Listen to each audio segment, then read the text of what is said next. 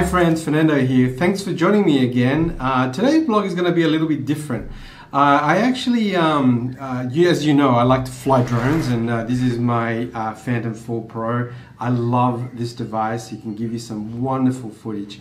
And in Australia, flying drones is becoming a lot more more popular. But the other day, I had someone come up to me and said, "Hey, you're not supposed to fly that here."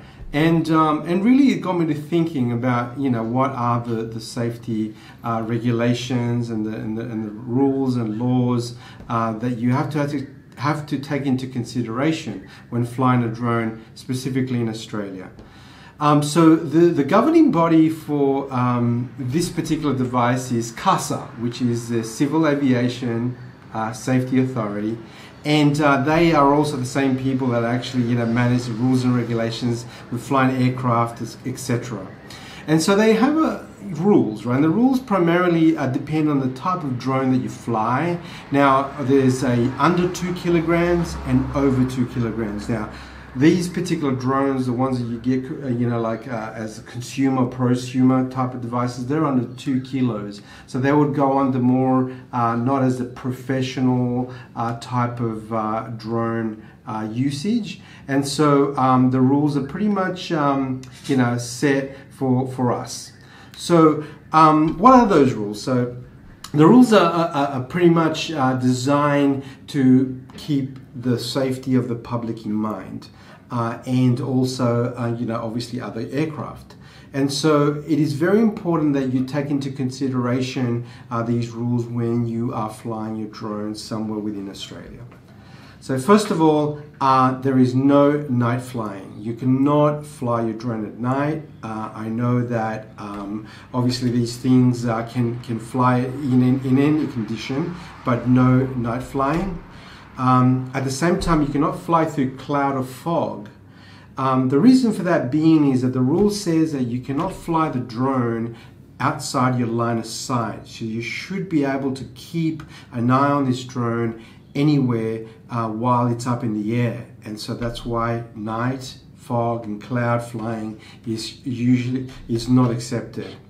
Um, so you, you need to keep an eye on it all the time, of course. Um, and the other more uh, important rule is that you're not allowed to fly the drone within 30 meters of other people. Um, so when you're taking off or landing, make sure you're doing it as far away as possible from people. So 30 meters is the rule. So if you are taking off somewhere where you know that people are going to come and, and see you and start asking you questions about the drone, try not to do that because obviously that is not the right way to approach it. So try to take off somewhere uh, where you are isolated, where people are not going to come up to you and ask you questions. And that happens to me all the time. I mean, when I take the drone takes off, when people are walking past and they see you holding the remote, the first thing that they want to know is like, hey, what are you doing? How does it work?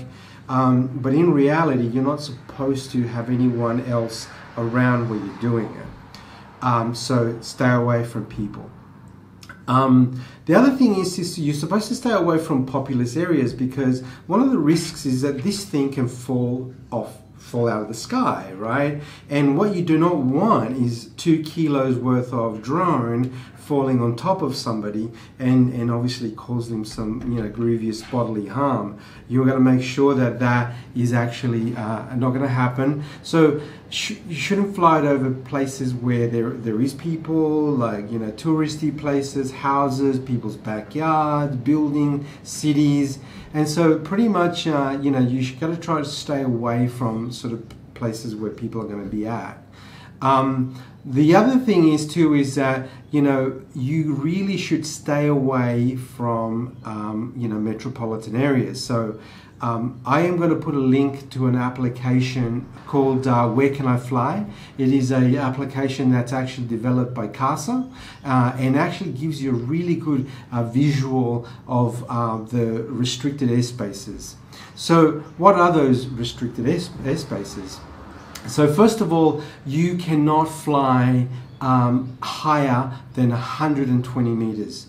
So your drone cannot fly into areas where other aircraft may be flying. So um, this particular drone has the ability to actually manage its height.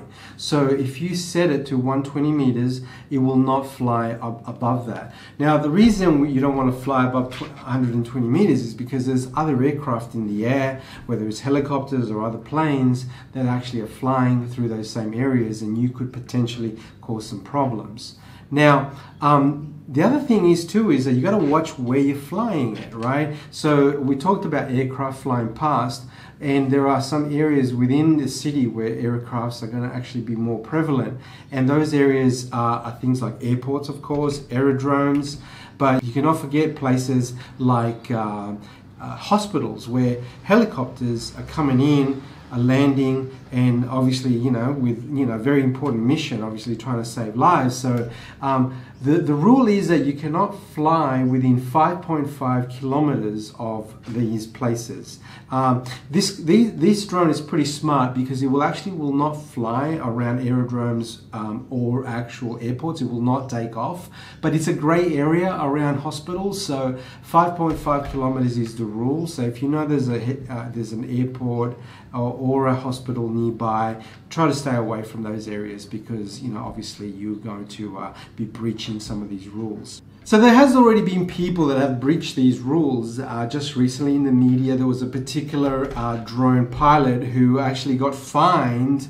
Uh, I think it was something around ten thousand dollars for actually doing a fly feed. For those of you who don't know what a fly feed is, is where the drone is sort of hovering right next to you, and then you get it to fly off while it's filming you, and you get this beautiful sort of shot uh, of um, you know uh, the drone flying away as you get smaller and smaller and smaller. So this particular party was a wedding, and they thought that they'd get this cool shot of the wedding party, sort of popping their champagne and doing all these cool things as the drone was flying away.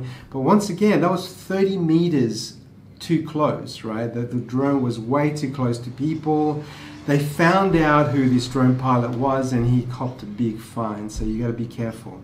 Um, obviously, at the same time, if you want to check the internet, you'll also see these drone fails where these drones have actually hit people. And um, yeah, so you, you really have to be careful. Um, keep safety in mind. Uh, flying drones is fun. The visuals you get from these devices are fantastic, but you have to keep the actual public um, safety in mind and uh, you have to fly responsibly. So hopefully these tips uh, will come in handy, especially in Australia, if you actually want to fly your drone. I do recommend that you know you, you sort of remember the rules when you're actually starting to fly your drones, but at the same time have fun. These devices are fantastic. They give you such a beautiful vantage point that uh, no uh, photography can do from the ground and uh, enjoy it, have fun. If you like this video, press like and subscribe, hit the little bell so I can notify you when I post something new.